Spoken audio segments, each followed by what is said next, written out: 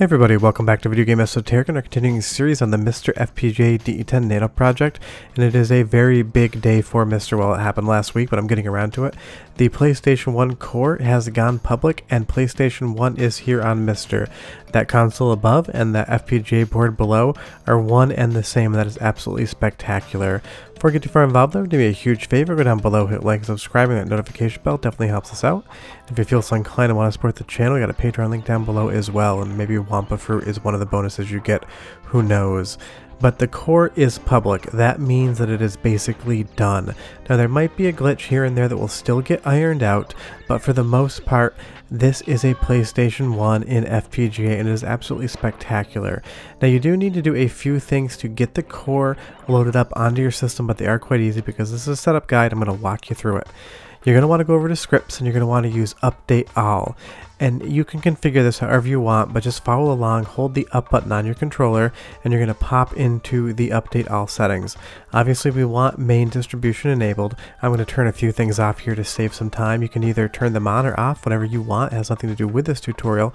But what we need to make sure is that BIOS Getter is enabled, because this is going to pull down all three BIOS files for the different regions of PlayStation 1. And make sure you're using the new downloader. I don't know how old your version of Update All is. Make sure it's updated and make sure use new downloader is selected under that miscellaneous options item. From there, all you need to do is go and exit and run update all, and it is going to update your MiSTer. It's going to grab that new PlayStation 1 core. It takes like 3-4 minutes. It's not that long at all unless you're downloading everything including the MAME ROMs. But you'll see here, it's going to pull the ROMs or BIOS files for the PlayStation and it's going to pop them right where you need them to be. And with any luck, trust me, it is very easy. Go back into your core menu and you're going to see PSX right there. Ignore the unstables, those are beta versions that I was testing and doing videos on.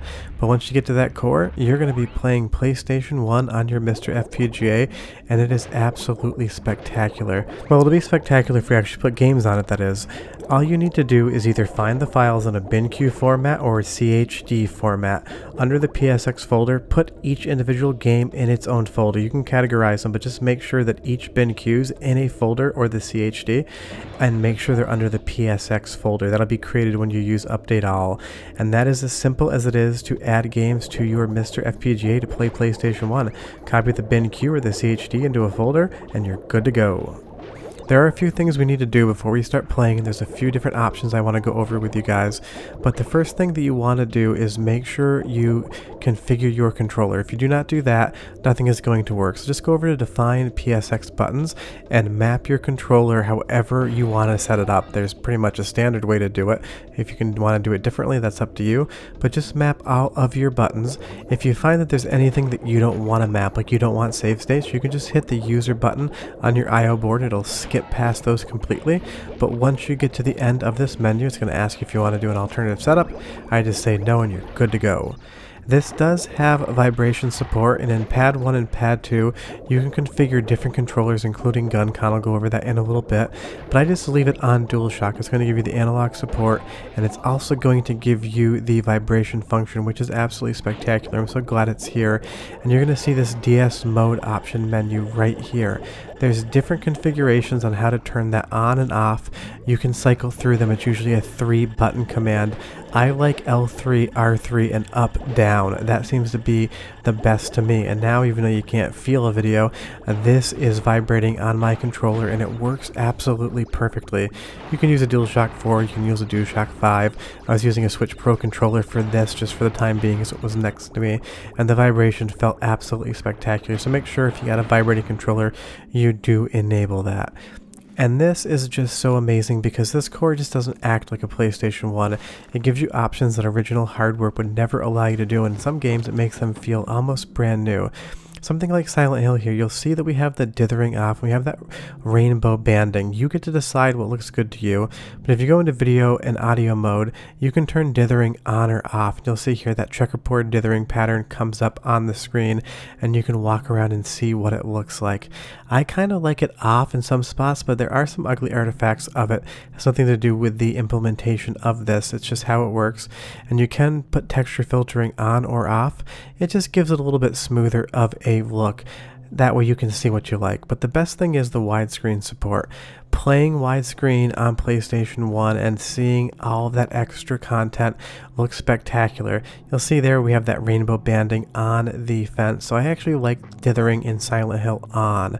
But I do want to give a big thanks to a dude named Fuzz from the Discord. He's been helping me through this entire PlayStation 1 process, kind of telling me different things that were happening and keeping me informed. So Fuzz, I'm sure you're listening. I owe you a big thanks on this. And damn, does Silent Hill look great in 16 by 9. Doesn't help the controls any, they're still tank controls. But not only does this game look great, it sounds spectacular. So go ahead and listen and I will be right back.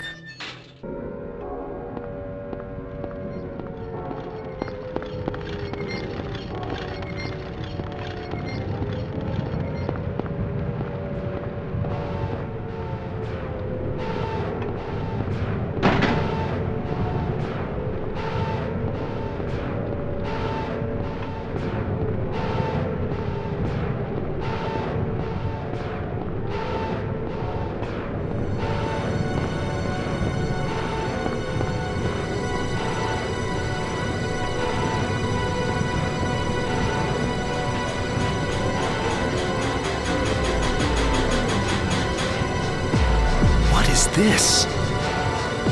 What's going on here? What's going on is your MiSTer is now a PlayStation 1, but it's even better in some ways. And if you drop down to video and audio here, there's some options that you can play around with. You can do this just to full screen. Don't do it, but it is an option. Use that 16 by 9 toggle.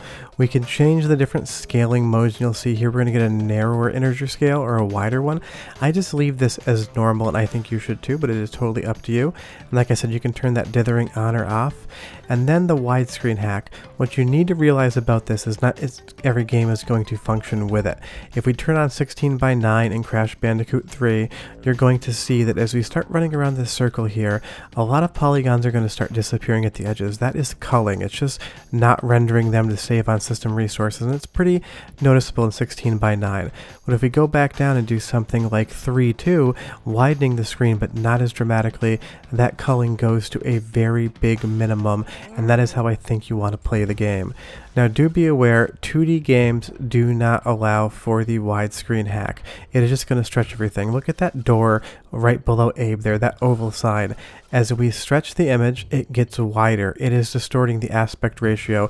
So when you're playing 2D games, things that aren't based on polygons, this is just something you're not going to be able to use. So go ahead and leave that off because I'm sure people will say it doesn't look right, right on 2D games.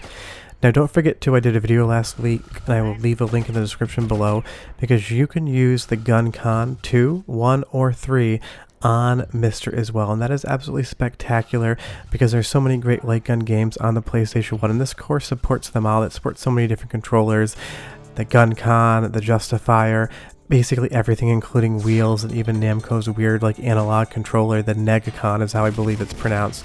But this is a great little extra feature and it is so good to have in there, especially because most people don't collect CRTs anymore. But if you do need any further information, you can go over to the GitHub repository for the PlayStation Core because it will give you a little bit more information. I can't answer every single question here.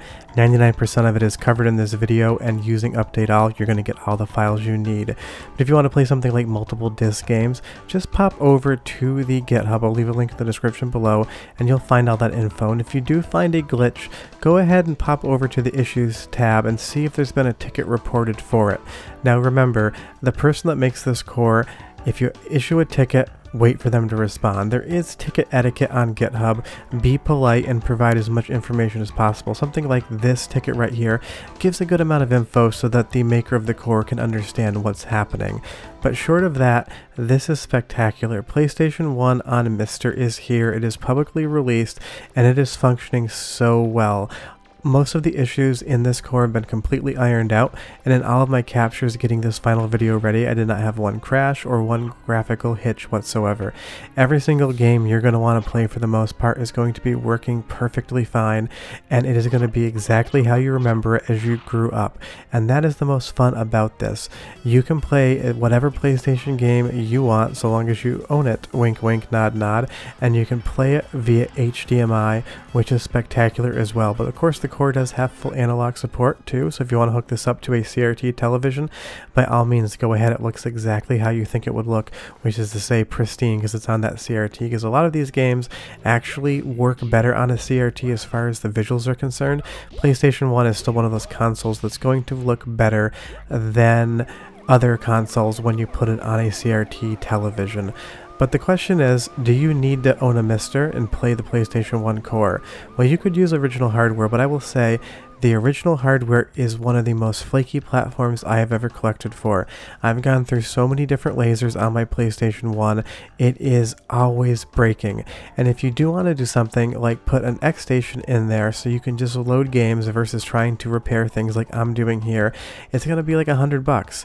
And then if you want to talk about video quality, the PSX DVR, which has some of the best quality out, it's still not going to rival the HDMI off MiSTer, or if you want to mod your system, 160 So it's $260 just for the mods, or you can just buy MiSTer, play the PlayStation 1 core, and you've got that HDMI and that optical disc emulator, i.e. the FPGA, built right in.